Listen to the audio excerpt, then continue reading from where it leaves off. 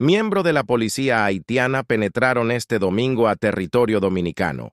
Entraron a un mercado informal en la fronteriza zona de Dajabón.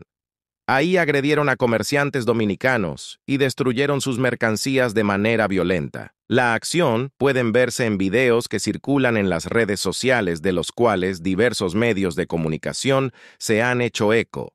En uno de los videos, se puede observar a varios policías haitianos tirando violentamente las mercancías de comerciantes dominicanos a unos matorrales. Esta acción de invasión y maltrato a los dominicanos en su propio territorio por parte de la policía haitiana ha dejado mal puesto al ministro de Defensa, Carlos Luciano Díaz Morfa, el cual en toda sus rueda de prensa vociferaba de que la frontera estaba segura. Los incidentes provocados por las autoridades haitianas generaron que comerciantes dominicanos, que fueron agredidos, tomaran represalia y sacarán a los haitianos que hacen comercio en diferentes puntos de este municipio. Luego de esto, un amplio dispositivo militar fue desplegado en las diferentes calles del municipio Dajabón, así como también en los distintos parques y lugares públicos de la ciudad, donde se observa, además, un fuerte patrullaje en sectores de esta zona fronteriza.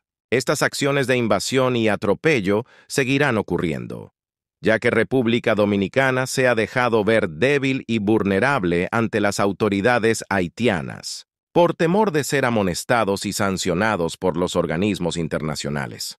La República Dominicana está perdiendo el respeto y la dignidad de la patria.